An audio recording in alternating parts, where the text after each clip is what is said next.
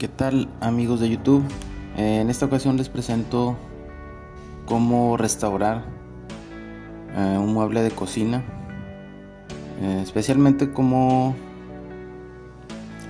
cómo hacer la cubierta con madera de pino.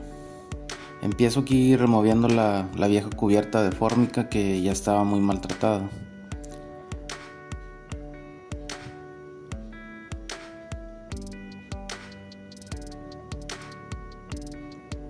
Tomo las medidas en las que me tengo que basar. Aquí es 41 centímetros de ancho por 60 centímetros de fondo. Y empiezo a cortar mi material que es madera de pino como ya les había dicho de una pulgada de espesor. Así es como ya la compré en Home Depot ya viene cepillada. Así es que es muy fácil eh, hacer ensamblar el, el tablero.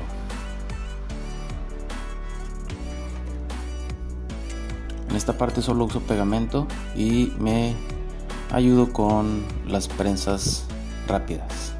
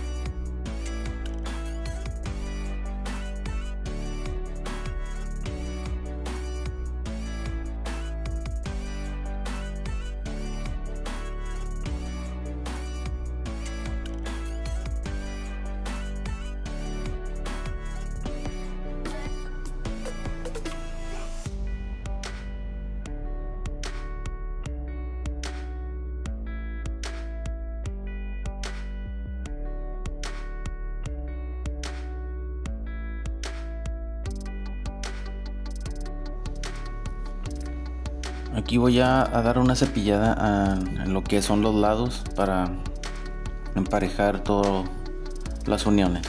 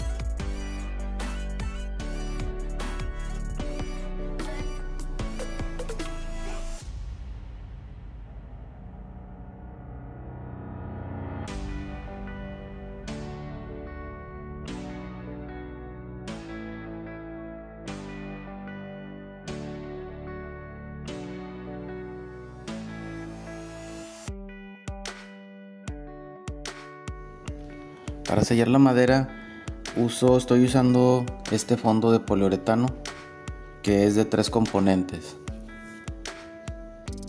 Y lo que hice fue aplicar tres capas, lijando suavemente eh, entre cada capa con lija de grano 220.